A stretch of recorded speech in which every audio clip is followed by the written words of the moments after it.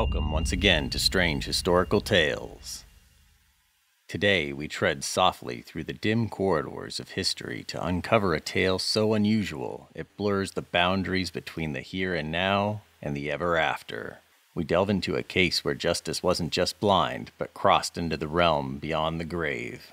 Consider, if you will, a murder mystery, not confined to the earthly bounds of courtroom walls, but one that extends into the ethereal.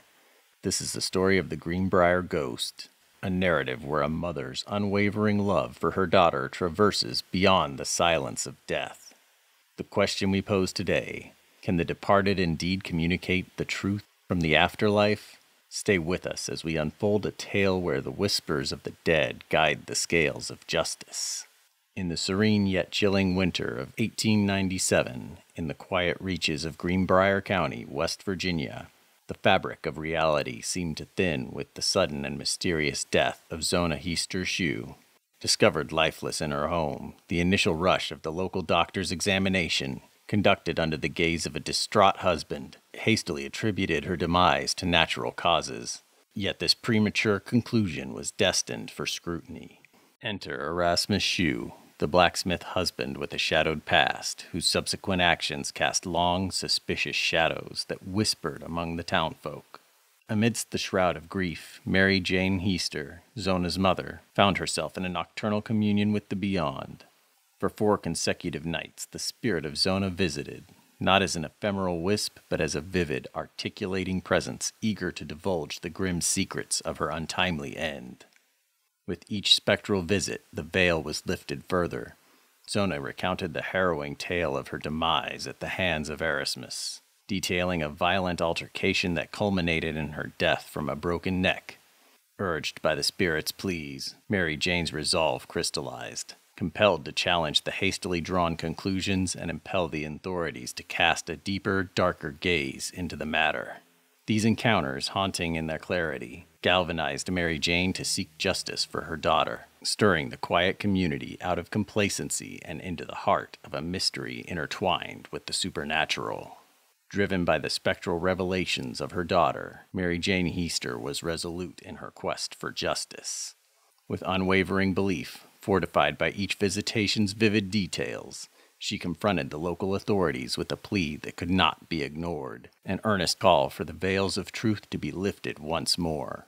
Initial skepticism met Mary Jane's claims, rooted as they were in the realm of the supernatural. Yet the tide of disbelief began to turn when Dr. George Knapp, the physician who first examined Zona, admitted the limitations of his earlier assessment. Under the pressure of a grieving husband, the doctor had conducted only a cursory examination, one now shrouded in doubt and regret. This confession, coupled with Mary Jane's persistent pleas, compelled the authorities to reconsider. The soil of Greenbrier County would once again yield its secrets. The decision was made to exhume Zona's body. This act, sanctioned by the specter of potential justice missed, aimed to bring clarity to the whispered accusations from beyond the grave setting the stage for revelations that would ripple through the annals of legal and paranormal history. When the earth was disturbed to revisit the remains of Zona Heaster Shue, what lay beneath was a tale not of rest, but of dark revelations.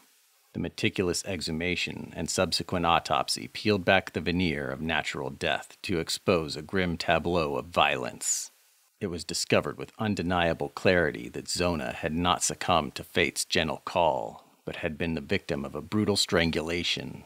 Her neck broken, her windpipe crushed under the force of a murderer's grip. Detailed further examination revealed telltale bruising around her neck, the marks of fingers that spoke louder than any ghostly whisper could. These stark findings shattered the initial conclusions of natural causes, aligning instead with the spectral testimony that had haunted Mary Jane Heaster's nights. This pivotal moment in the autopsy not only recast Zona's death, but also spotlighted Erasmus Shue, her once mourning husband, now the prime suspect. With the shadows of doubt cast away by the light of forensic truth, the focus narrowed to Erasmus Shue. Authorities began peeling back the layers of his past, uncovering a pattern of troubling behaviors and mysterious circumstances surrounding his previous matrimonial entanglements. Each fact uncovered added depth to the portrait of a man who may have walked in the guise of a grieving widower, but perhaps hid the soul of a callous felon. Before Zona, Erasmus Shue had bound himself in matrimony twice, each union shrouded in its own shadow of distress. His first marriage dissolved in the acrid aftermath of allegations of cruelty, a disturbing precursor to what was to come. The second marriage ended abruptly with the mysterious death of his wife, purportedly from a tragic fall. However, the murmur of foul play whispered through the community, painting a sinister portrait of a man perhaps too familiar with the darker inclinations of human nature. In the days following Zona's death, Erasmus's demeanor at her funeral raised eyebrows and suspicions alike his peculiar insistence on adorning her with a scarf, allegedly her favorite, and propping her neck with pillows, struck many as a macabre act of affection. Actions later suspected of concealing the violent bruises on her neck. His emotional swings from profound grief to an eerie calm painted a picture of a man wrestling with more than just loss. As the veil of grief lifted, voices from within the community began to challenge the facade Erasmus had presented.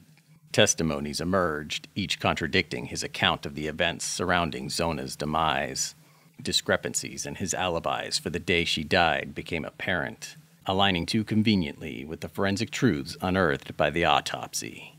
Together, these elements wove a damning narrative, positioning Erasmus not as the bereaved husband he portrayed, but as the architect of a grim and fatal deception in the hushed courtroom where Erasmus Shue stood trial for the murder of his wife, Zona.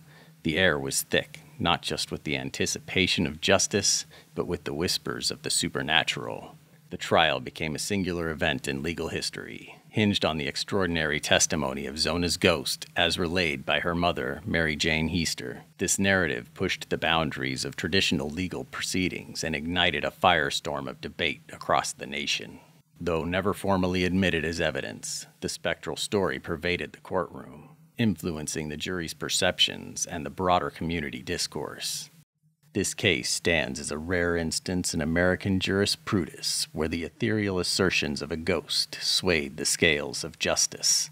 Legal scholars and practitioners hotly debated the ramifications, pondering the integrity of verdicts swayed by hearsay mingled with the paranormal.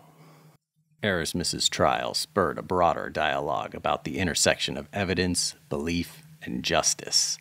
It challenged the admissibility of testimony and how deeply personal convictions and local folklore can influence judicial outcomes. Questions about the reliability of eyewitness accounts gained new dimensions when those accounts ventured into the realm of the paranormal. The tale of the Greenbrier ghost remains a haunting testament to the mysterious interplay between the seen and the unseen, the known and the unknown. It challenges the norms of legal evidence and invites us to reflect on how deeply held beliefs can shape our interpretations of justice. Thank you for joining us on this enigmatic journey through the shadows of history with strange historical tales. If this story of legal and spectral intersections has intrigued you, Please like, comment, and subscribe. Share your thoughts. Do you believe the supernatural can influence real world events? Is there more to our reality than what is seen? Stay tuned for more tales where the past whispers secrets that are stranger than fiction. Remember to hit the bell icon to never miss an episode as we continue to explore the darkest corners of history.